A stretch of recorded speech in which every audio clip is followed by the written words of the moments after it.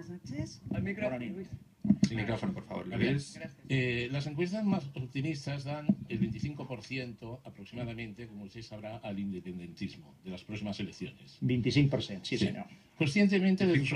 sondeos, usted se presenta como partido no independentista, ¿no? Según tengo entendido. Mm, No, exactament. Sí. Jo, jo, vostè faci la pregunta Sí, i sí. jo intentaré Va, contestar. va, sí. d'acord, ¿eh? Entonces mi pregunta es, si se aprueba el referendo, el referendo independentista, ¿usted qué votará? ¿Sí o no?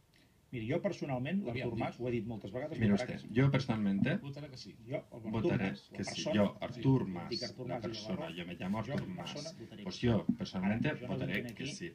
Ahora bien, no, ve- no vengo jo aquí porque me llame Artur Mas, vengo aquí porque soy a presidente de Convergencia y Unión y me presento como Convergencia candidato a unas elecciones a, la presidencia de la, de la Generalitat. Como presidente provocaré de Convergencia y Unión no un provocaré en Cataluña un proceso rápido que el yo sepa que a divide al país eh, por la mitad. En este proceso, una mitad a favor y otra mitad en contra, porque esto es generar un problema dentro de Cataluña. Una cosa es que Cataluña tenga una cierta tensión con el resto del Estado español y sobre todo con los poderes de Madrid. Esto debemos eh, administrarlo. Otra cosa es que nosotros eh, generemos ese problema en el interior de Cataluña, de modo que lo que yo intentaré es que a corto plazo, en estos próximos cuatro años, dentro de Cataluña, se planteen los temas que agrupen a los catalanes, eh, que acuerden las mayorías de los catalanes. Por ejemplo, lo que yo llamo que pacto fiscal en la línea del concierto económico que tienen los vascos con los navarros. Es decir, que los eh, catalanes podamos gestionar nuestros recursos. Y hablo de los 7 Ara, si vostè em millones y medio de catalanes, no tan solo unos pocos. si un usted me pregunta a título particular, un fa si un un día Cataluña organiza un un referendo para que Cataluña tenga un estado propio, yo no lo oculto, yo a título personal votaría que sí. El presidente de Artur Mas, Convergencia y sí. El presidente de Convergencia y farà les Unió en estos próximos cuatro años hará las cosas de otra forma.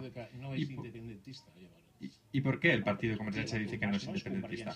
Porque Artur Mas no es Convergencia y Unión Unió, en su totalidad. Dentro de Convergencia hay mucha gente. Yo, dentro de Convergencia y Unión, debo ser la síntesis de posiciones que son un tanto diversas. Dentro de Convergencia y Unión hay gente, mucha gente que son independentistas, muchos militantes, otros que no, pero son catalanistas. En nuestra sociedad, entre nuestros votantes, hay mucha la gente independentista de o que aspiran a tener un estado propio para Cataluña y hay otros que creen que o saben que ahora no es posible o que se tiene que esperar más y hay otros que creen que es un proceso que ahora no, toca plantearlo. Es decir, que yo como presidente de la formación tengo que intentar